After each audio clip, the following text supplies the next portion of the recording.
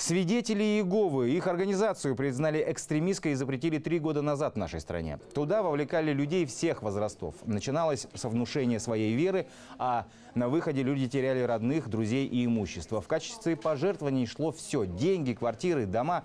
Сейчас это запрещено, но так называемые тайные секты никуда не делись. Одного из организаторов подобной богадельни осудили в Абинском районе.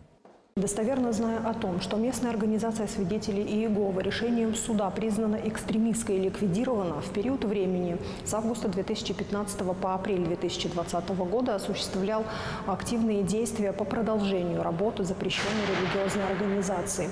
Подсудимый организовывал э, религиозные э, собрания и богослужения, в том числе с использованием сети интернет, занимался распространением литературы экстремистского содержания, Брал деньги под видом пожертвования. Перечислять обвинительный приговор можно бесконечно. Этого проповедника суд признал виновным. Он получил 7,5 лет лишения свободы.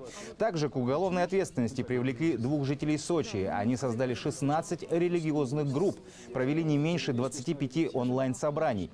Называют себя все теми же свидетелями Иеговы. Этих богослужителей Хостинский суд признал виновными. Один получил год и 10 месяцев, второй год и один. Теперь всем троим осужденным придется вести служебные проповеди за высокой стеной.